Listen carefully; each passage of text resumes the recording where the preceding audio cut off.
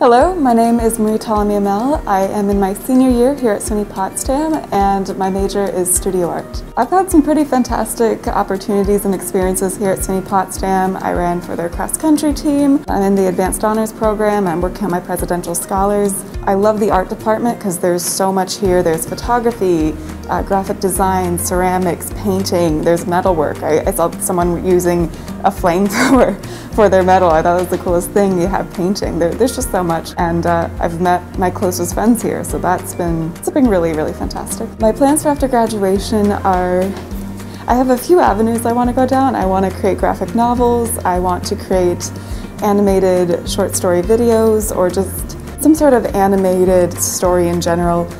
Um, I want to create my own artwork and sell it, oil paintings, ceramics, prints.